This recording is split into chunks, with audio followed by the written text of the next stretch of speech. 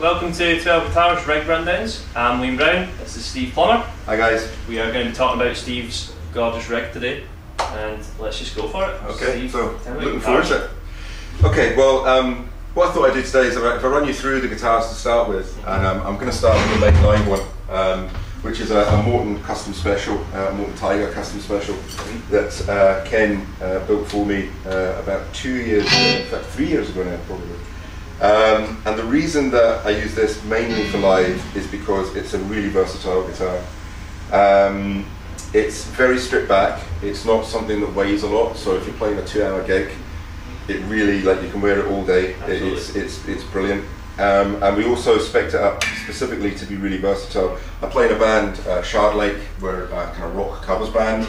So we will literally be playing everything from um, you know Alannah Myles and the Pretenders Yeah. through to Metallica. So you need to cover a lot of So tones I've got to cover a lot of ground very course. quickly, Yeah. and more often than not, we'll be doing something like the Pretenders straight into Metallica. Mm-hmm. So you need to go from a really clean, beautiful, chimey sound into straight out metal, and that's pretty much how the rig is set up. Brilliant. It's pretty basic. There's really not a lot to it, um, uh, but yeah, the guitar. This is my main line guitar, and it's just gorgeous. So that's it. Um, in nice, clean tones. Um, Can we give it a wee play in the clean tone? So you get a.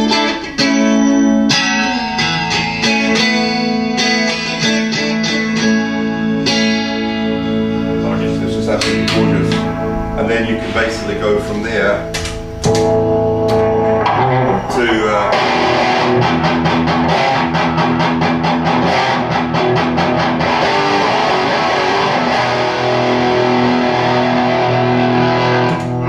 literally at the click of a couple of switches and hit Uh-huh. And when you're playing live, you've maybe got five seconds in between songs Yeah.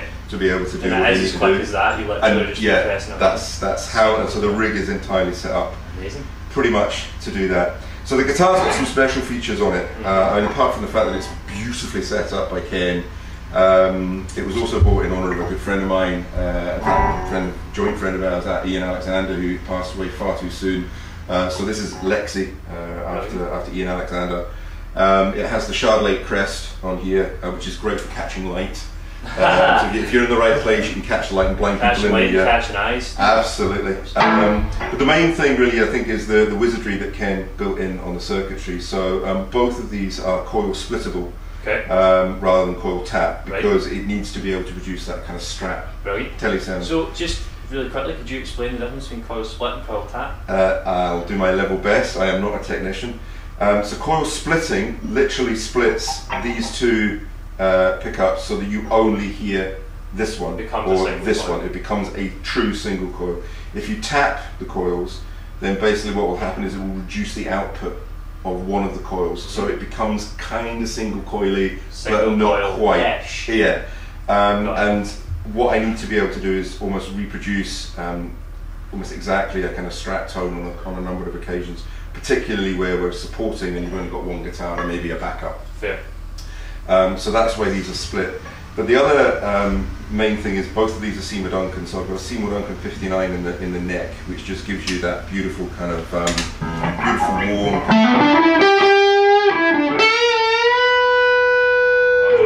which is gorgeous. And then uh, here we've got a slightly higher output Seymour Duncan Invader, which is more kind of metally. Um, pushing the amp a lot Yeah. harder and getting a lot more gain. But it cleans up really nicely, which is incredible for such a high output. And then when you when you when you split it, very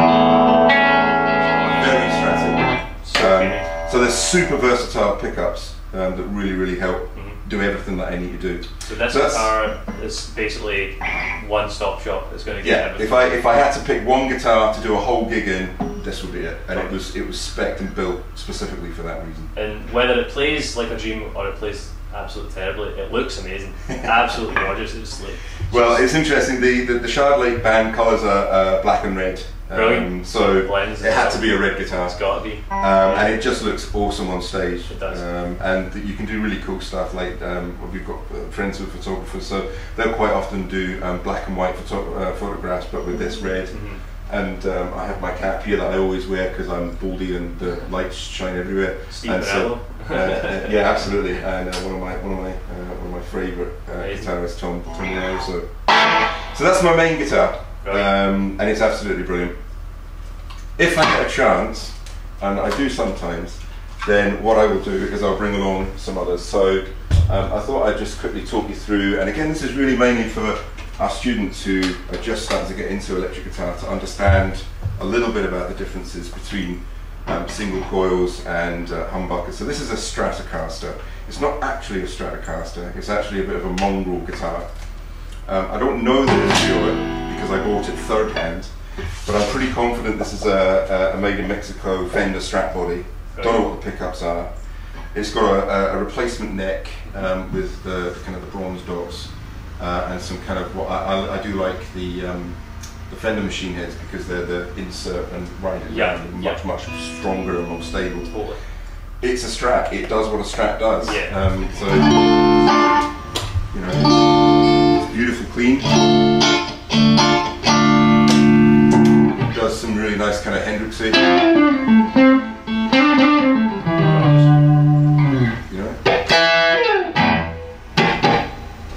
Strat stuff. So we're moving from. Steve Morello into Stevie Ray Plummer kind of area. Yeah, if only. Wouldn't that be a dream? Um, but it does. It does all of the, you know, your, your, your Floydy stuff, etc., etc. Um, and we'll even, uh, it can even be uh, teased out to do some uh, edgy stuff as well.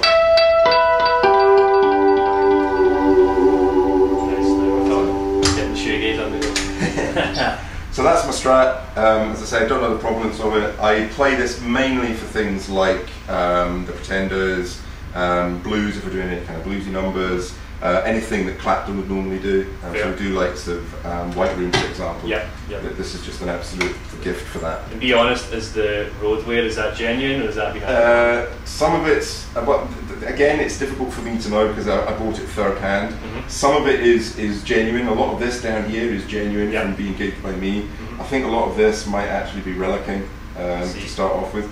But I do play quite hard in the middle here, so Mhm. a lot of this, you, know, you can actually see some of this is actually purple from yeah, the yeah, yeah, yeah. Um, so it's a kind of combination, I think.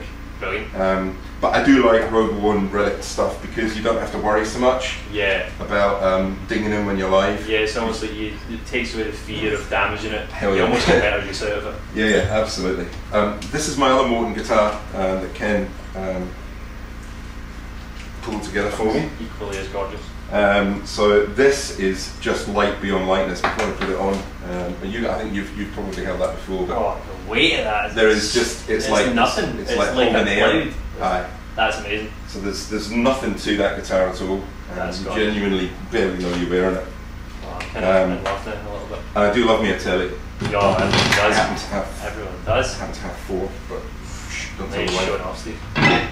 Um, so this just does your standard telly things. Um, very bright and sparkly. Uh, Ken, who's uh, thankfully sitting just across from me, is this a Fat Cat pickup? It's a Fat Cat uh, pickup, and I'm Yeah. trying to remember who it's by now. Uh, It's what they call a, a big pole. Big pole, yeah. So basically, my understanding of that is that because it's got bigger poles, it's not quite as bright. See. Because obviously, tellies, especially in the British pickup, are usually really bright. Yeah. The other thing that I didn't mention on my Strat is I always put brass saddles on my single coils. Okay. Um, I just think single coils and brass saddles, that's the. What is the what? What do you feel you gain from that? So brass, brass tends to be a bit toppier. Mm-hmm. Um, and it also tends to give you, for, in my opinion, a lot of this is opinion, um, more sustain. All right. So if you, this thing just rings, Yeah, it just keeps going. it just keeps going and going. The sustain on it and the resonance in the body, you, and you're still going down. So it just allows you to really, and on a telly particularly, it gives you a real snap to the Sharp. Yeah. really sharp. Um, in-between sound is, is lovely and almost stratty. It's very warm. bit out of tune. Um, then you've got neck, necky neck, which is my favourite.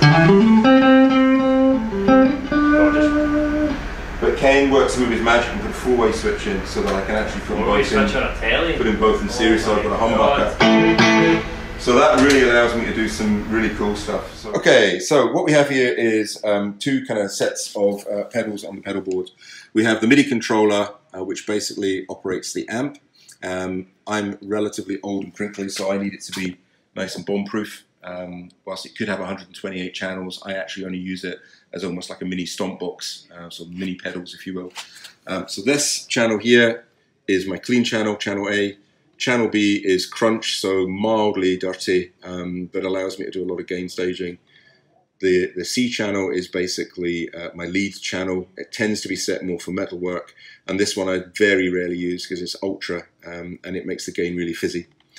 This one here is for modulation. Um, I use this for chorus, which comes off of the amp, which I'll show you in a moment. This is my uh, solo delay pedal, uh, set very, very light, so it just thickens the tone. And then the best feature of all is my 10 dB boost pedal, which basically allows me to match volume from single coil to humbucker when I switch guitars. Uh, I use a Ibanez Weeping Demon uh, wah pedal, very, very versatile, but I basically don't move it from where it's set. Um, then the most important pedal of all, which is the tuner. You always have to have a tuner on your board. Um, I'll come back to the equalizer. I then have three kind of distortion gain levels. I have an, uh, an Ibanez Tube Screamer TS7, which basically does what a TS7 does or a Tube Screamer does. It kind of tightens the bottom end and just compresses a little bit. It just adds a little bit of gain. I then feed that into basically a, a Klon clone, which is a, a Lucid FX um, Klon clone. Again, that just adds another layer of gain, so it gives you kind of dirty to dirty. And then you have uh, a Big Muff Russian Pi for all of your fuzz that you may need. Um, and all of those go into the front end of the amp, so you're just driving the valves in the preamp. And then finally, in the loop, we have a tremolo pedal for two songs and a digital delay, which is set quite long, and that gives you all of the edge sounds. So then we get to the amp. So the amp is a Hughes and Kettner Grandmaster 36. Yep. Um, and the speaker cabinet is a Tuba 12. It's a relatively new addition to my rig. Mm. Um, it's a James Jared Nickel Blackstar Tuba 12 special. Um, if you've never watched James Jared Nickel playing live, you need to go and see this man shred up and down a guitar with no pick and one pickup. I mean, the guy is just a monstrous guitar player. Yeah. Um, and he's young and he's cool and he's aggressive and oh, he's just brilliant. yes. Um, proper aggressive blues rock player. Uh, and I fell in love with his tone, but I really like the tone of what, what, what comes out of the amp. And so I investigated uh, what the speakers were in here, and actually, at the risk of being slightly cheeky, he, he's pretty much got in here what I had. So my, my previous rig to this was two 1x12s stacked on top of each other. One had a greenback and one had a uh, Celestion 75. And in here, he's basically got the modern version of the greenback and a Celestion And the 75 Celestion, brilliant. That's all together. Amazing. So that meant that I didn't. I, so I sold both my one by twelves and basically bought this along with the guitar. I, I sold the guitar uh, and basically bought the cab. Um, I love the tone out of it. It's relatively new, so it's still a little bright and, and brash, but it hardly weighs anything. For a, for a two by Yeah. twelve, you can literally pick it up with one hand. Wow. Now I do a lot of gigs and I'm old, so uh, lightness and portability is key. Yes. Um, so that's basically the kind of this is the hub of my tone. The amp is just immense. Um, the big inspiration for Hughes and Kettner is Alex Lifeson from Rush because he uses H&K, has been for decades. Yeah. Um, love his tone, and it's just so versatile. Yeah, and having the, having the two types of speakers as well ties into that versatility again. yeah. So basically, you, the modern greenback gives you that kind of grunt in the bottom end and a little bit of MIDI bit, and then the 75 gives you the top end bike that comes Yeah, across. absolutely, absolutely. Right, well, Steve, thank you so There much you have for taking us through your rig. Really appreciate that. Not a Uh, problem. hopefully, that's been informative to some of the guys who are maybe getting started out, or maybe are wanting to upgrade where they are just now. And if you uh, if you listen to this and you want to ask questions when we're next together, please feel free to do so. I was just going to mention, you can edit this as well, but that it's very important for young players to make sure they match the amp to the speaker. Yes, indeed. So if they, I think the, the rule is a low into high will fly, but high into low won't go. Yeah. So four ohms into an eight ohm cab will work, Yeah. but don't do The the other way eight ohms around. in They'll it, fly, yeah. they'll Yeah. fry So again, one of the reasons I love this is that sometimes you don't get a choice of what cab you're going into. Yeah. This has an automatic ohm selector. Oh, does it? So literally I can plug this into anything and it'll work, That's It'll work great. automatically. which is awesome. So again, a lot of my rig is built around playing live. So if, if we're rocking up to a, an open air festival, and you literally somebody hands you a four x twelve and says that's what you're using, if you haven't got the right capacitors or the right ohms or whatever, you're basically goosed. With this amp, I can rock up anywhere, anywhere. plug it in, functionality. It'll just work. How do you find it is for the valves? Is, is it quite sturdy? Is it I've yet to change the valves in this. This has been gigged constantly for the last four years. Yeah. I've never had a problem with it. It's not even had a service. Right. It's pretty bumper. I mean, I'm gentle with it. I don't go flinging it around or whatever because it's a valve amp. But at the end of the day, as long as you look after it, Mhm. um, it's it's pretty robust. Amazing. The only downside to these, I would say, is that I don't know if you want to put your hand here, Ian, but it gets It's quite warm. very hot. yeah, it does get warm. Um, probably fry an egg on that at the moment. Yeah, yeah, Um, you- so- um, but at the end of the day, it works, and that's all that really matters. Right. Thanks, guys, and uh, do tune in for another episode of Rig Rundown in the not too distant future. Cheers.